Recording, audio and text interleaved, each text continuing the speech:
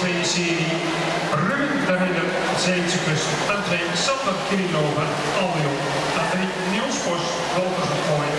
Aan Leroy van Ooyek, VZC EV. Aan vijf Lars Bommelier, VZT.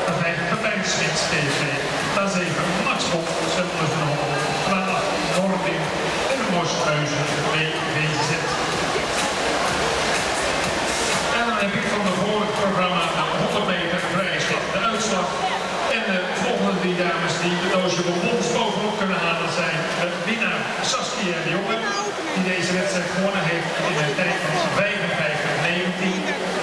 Tweede is geworden Amy de Lange in een tijd van 55-27. En derde is geworden Maartje de Wit in een tijd van 55-91.